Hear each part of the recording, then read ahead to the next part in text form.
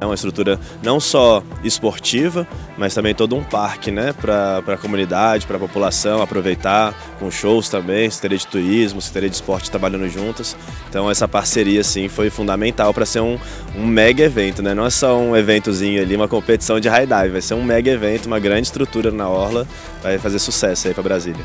Para mim está sendo maravilhoso ter esse apoio, porque a gente não tem muitos apoios em outros estados com o esporte e aqui em Brasília é algo que está explodindo, né? Na verdade explodiu e agora ainda mais para o mundo inteiro que está sendo referência, né? O governo do GDF é essencial para a gente, né? O, projeto, o próprio projeto que tem aqui também é é por eles, então acho que sem eles o evento não aconteceria, então é muito, muito importante para a gente aqui, né? Está muy bonito y más porque la plataforma se ve de buen estado, donde vamos a tirar.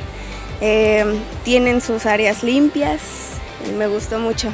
Para mí competir en Brasil es como algo súper especial, es la primera vez que estoy aquí compitiendo. Brasilia no, no había estado nunca, la verdad que pienso que es una ciudad súper moderna e por agora me gusta muitíssimo a gente, o ambiente, o clima. Eu acho que é muito importante dar essa visibilidade para o esporte, né? Principalmente assim na capital já, na ponte de nos principais pontos assim turísticos de Brasília, eu acho incrível. Então, tá recebendo todo esse apoio, eu acho que vai ser muito importante para ajudar a gente quando crescer.